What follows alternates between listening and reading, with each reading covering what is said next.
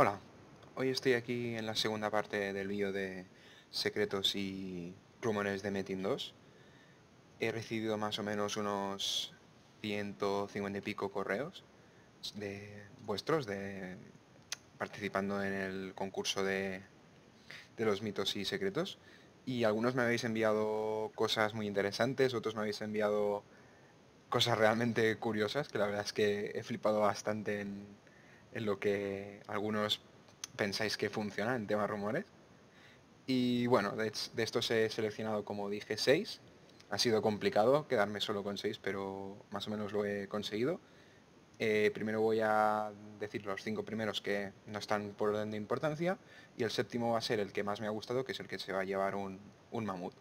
Y eh, como extra, digamos como séptima parte, explicaré yo uno que me han comentado unos amigos y, yo también sabía y tal, y me ha parecido bastante interesante y voy a añadirlo, ¿no? Para aportar también un, secreto al, al vídeo, ¿vale?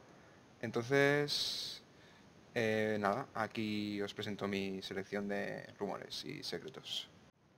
Bueno, el primer secreto escogido me lo han mandado Edward de Nemesis, y es una estrategia para conseguir que el drop de Metines sea bueno, aunque vuestro nivel sea superior al metin que queréis, que queréis destruir, ¿vale? Ya sabéis que si yo me cargo este metin de 95, probablemente el drop que me va a dar va a ser muy malo, ¿vale? Porque sería como, como si le sacara 10 niveles, ¿no? Porque recordar que es como que si fuera 105. Entonces lo que, lo que hay que hacer es eh, limpiar el metin, bajarle la vida hasta que tenga poca, y entonces es cuando tenéis que cambiar personaje o darle al anillo de casado y terminar de partir el metin con la chamana o bueno, cualquier otro PJ. Y ahora ya desde la chamana estoy preparado para partir el metin, ¿vale? Tengo guante puesto y a ver si le bajo bien y ya lo puedo partir. Y entonces el drop que me va a dar este metin eh, va a ser como si lo hubiera petado todo la, la chamana, ¿vale? Vale, bueno, en principio, en principio va a caer ya.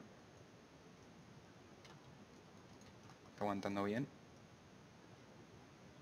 Bueno, os recomiendo tener un personaje mejor preparado que el mío porque esta arma no quita mucho, o le metéis un jabalí. Y bueno, ahí lo veis, eh, el drop mejora mucho y esto se hubiera notado también mucho en si hubiera un metín de Pascua de nivel 85 y vuestra chaval es 90 o alguna situación así. Y vamos con el segundo.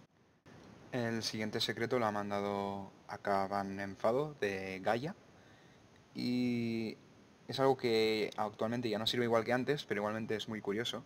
Y es que algunos a lo mejor sabéis que la opción de retardo que se puede sacar en arma y zapatos, por ejemplo aquí tengo 3 de retardo, sirve para, para que cuando estás destruyendo un metin, van saliendo diferentes rondas de monstruos, pues al llevar retardo hay la opción de que no aparezcan eh, los monstruos, es decir, cuando le bajas la vida al metin hasta el punto donde aparecerían, hace la animación de esa que hace como un destello y no aparecería el grupo. Esto ahora mismo es la utilidad que tiene, pero hace tiempo servía para eh, mapas como Bosque Rojo.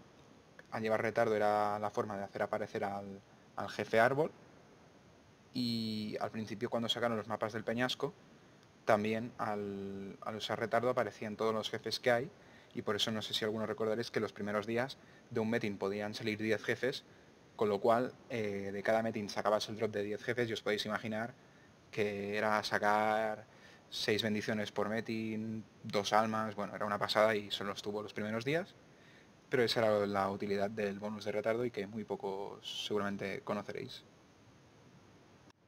El tercer secreto escogido me lo ha mandado en Suretum de Nemesis, el primero en mandarlo ha sido él, y a ver, que no me equivoqué yo de, isla, vale, por aquí.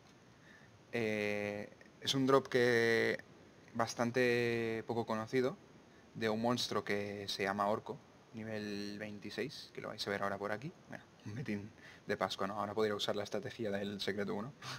bueno, y, y bueno, es un mob que vais a ver por aquí, que aparece cada 10 minutos, si no me equivoco, ¿vale? A ver si lo encuentro. Es un mob que se llama Orco, que sale solo.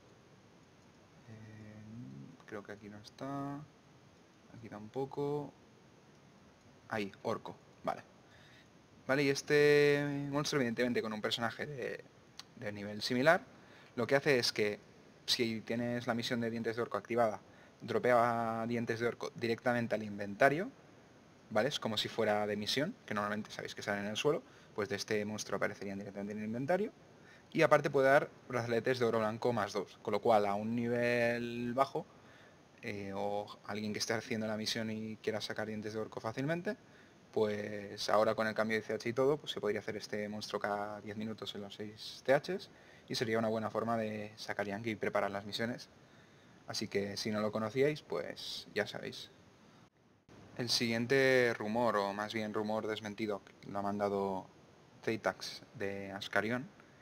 Y es que muchos de vosotros me habéis dicho, para subir mejor los ítems hay que hacer tal cosa, o para tener más suerte hay que hacer tal cosa. Y la única persona que me ha mandado, digamos eso, pero desmintiéndolo, ha sido Zetax, diciendo que, que no existe ninguna estrategia para, para tener más suerte, y es que, es que es así, o sea, por estar en un sitio concreto, en un mapa concreto, en una posición del inventario concreto, eh, primero tirando una cosa, luego otra, etcétera, eso no tiene nada que ver. O sea, al final mm, es una cuestión de suerte subir los objetos y, probabilidad. Mm, no por hacerlo en un CH o, o, primero darle que no, darle que sí, aunque todos sean, digamos, un poco superstición, todo no existe. O sea, al final no, no, hay, no hay estrategia, ¿no? Y eso es lo que, lo que ha dicho Zeitax y en lo que yo concuerdo, en el que por mucho que queramos pensar que hay una forma, no la hay, es cuestión de suerte. Y así por nombrar, lo más interesante que me ha parecido es que, de hecho, más de uno, lo cual a mí, bueno, yo, a mí me ha hecho reír, es que me decíais que si tú tienes el objeto en el inventario, ¿vale? Digamos aquí, y alrededor pones narices de cerdo, tienes más suerte, ¿no? Bueno,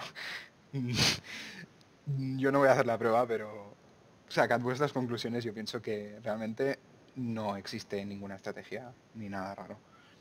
Así que bueno, ya llevamos cuatro secretos y rumores. El siguiente mito desmentido me lo ha mandado Damasco de Ascarion. Es algo que yo creo que es bastante conocido, pero aún así hay mucha gente que desconoce. Y es el tema de la experiencia con estas mascotas, ¿vale? O sea, muchos seguramente pensáis que al levear con la mascota, es, la mascota coge una parte de la experiencia del personaje, haciendo que el personaje suba menos. Pues eso no es así, ya que eh, lo que hace la mascota es subir en función del personaje, pero el personaje sube exactamente lo mismo. Entonces, eh, cuando hay que levear, evidentemente interesa subir con la mascota, ya que da un poco de HP, ataque y tal, y encima va subiendo sin afectar a la experiencia que sube el personaje. Así que si pensabais que se perdía experiencia, pues no es así.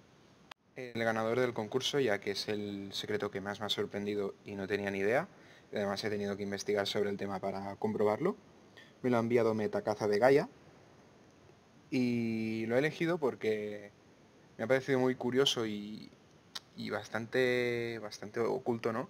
Y es el tema de que el rank, en función de, de cómo es de positivo, es decir, amigable, bueno, noble y caballeroso, el drop de, digamos, del juego aumenta hasta un máximo de un 5%, que es lo que habría en caballeros. Es decir, que si tenemos un personaje metinero, medallero, o para sacar medicinas o lenguas o lo, lo que usemos, convendría tenerlo con rank elevado ya que aumentaría el drop en un 5%, ¿vale?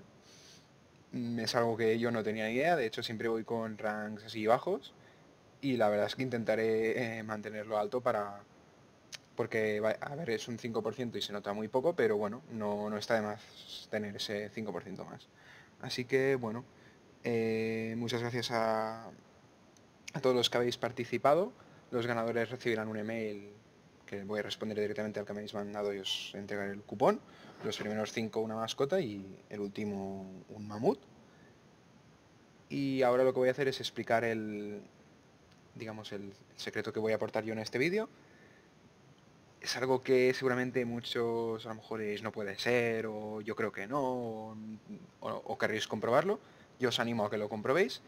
Y consiste en que contéis las almas que usáis para subir una habilidad de G1 a Perfect ya que si no usáis lecturas, ¿vale? O sea, cualquier habilidad subida a pelo, sin, sin nada, vais a gastar exactamente 36 almas. Es lo que cuesta subir una habilidad de G1 a Perfect, independientemente de, de si os fallan 15 seguidas o os fallan 25 seguidas. Es decir, eh, en principio siempre van a ser 36. Entonces, mm, ¿qué pasa? Que si os fallan eh, mucho al principio, es mejor, porque significa que al final os fallarán menos. O si os acertan mucho al principio, malo, porque luego os van a fallar más y perderéis más rank. ¿Vale? De hecho, si alguno de vosotros las cuenta, pues seguramente ya os habréis dado cuenta que, de que son 36. ¿Vale? Entonces, nada, espero que os haya gustado esta segunda parte. Eh, si, si veo que realmente gusta mucho la serie, intentaré hacer una tercera parte, aunque tarde un tiempo ya que tengo que investigar. Si, y eso, bueno, si queréis otra parte, darle a like o comentarlo. Podéis seguir aportando vuestros secretos y mitos en los comentarios para que yo los, los pruebe para otro vídeo. Y ya está, nos vemos más pronto, eh, nos vemos pronto con, con otro vídeo. Hasta otra.